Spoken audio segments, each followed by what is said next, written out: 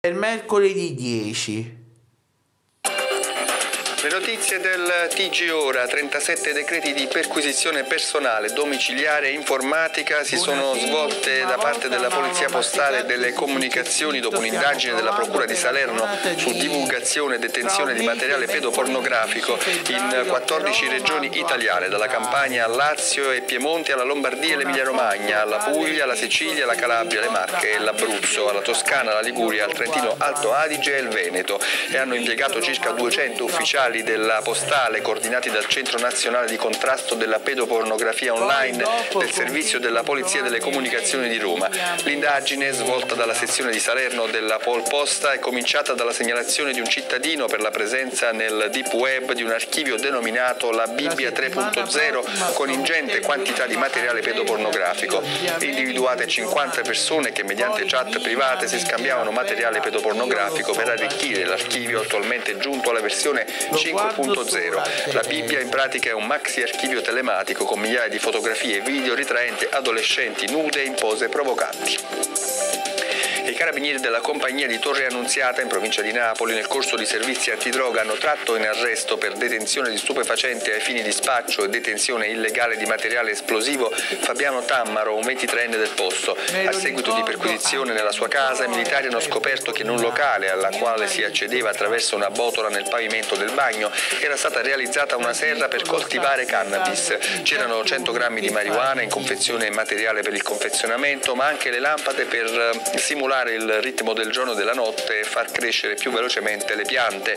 Nel sottotetto dello stabile invece era nascosta una grossa bomba carta, un vero e proprio ordigno di fabbricazione artigianale del peso di quasi 2 kg per la rimozione in sicurezza del quale sono dovuti intervenire gli artificieri antisabotaggio del comando provinciale di Napoli. L'arrestato è stato tradotto nel carcere di Poggioreale. Bomba carta nella notte in via Gramsci a San Sebastiano al Vesuvio in provincia di Napoli un potente ordigno ha danneggiato una farmacia e un'agenzia immobiliare. La bomba ha mandato in frantumi la vetrata della farmacia, scardinato le insegne di entrambi gli esercizi e divelto la serranda dell'agenzia.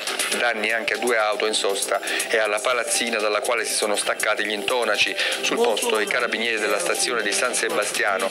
Il vero obiettivo del raid sarebbe l'agenzia immobiliare che infatti ha riportato i danni maggiori. Pochi dubbi sulla matrice dell'episodio, si è trattato di un raid legato al racket delle estorsioni ha perso la vita cadendo accidentalmente dal balcone nel terrazzino sottostante la sua abitazione, vittima una donna di 90 anni, è accaduto ieri sera in uno stabile di via Principati a Salerno. Immediato l'intervento dei soccorritori e il trasporto della donna all'ospedale Ruggi d'Aragona. La donna è stata ricoverata con un referto che diagnosticava una doppia contusione polmonare, una vasta contusione cerebrale, fratture scomposte di anche e costole. Le fragili condizioni di salute determinate dall'età avanzata della donna hanno evidentemente impedito il recupero. La morte è sopraggiunta qualche ora dopo il ricovero e sul caso indagano gli agenti della sezione volanti della Questura di Salerno. Sono attive già da due mesi anche nel bagno le telecamere di sicurezza installate nella cella di Michele Zagaria, il boss dei Casalesi detenuto nel carcere milanese di Opera, protagonista a novembre e a dicembre dello scorso anno di due minacce di suicidio realizzate provando a strangolarsi con il filo del telefono mentre si trovava in videoconferenza dalla saletta del penitenziario per un processo che si svolgeva a Santa Maria Capovete commettere. Da quel momento sono state rafforzate le misure di videosorveglianza in quanto Zaccaria sotto cura da uno psicologo avrebbe manifestato chiare tendenze suicide. Una reazione al regime del carcere duro, il cosiddetto 41 bis, appesantito come spiegano i suoi legali anche dalla mancanza di un compagno per l'ora di socialità.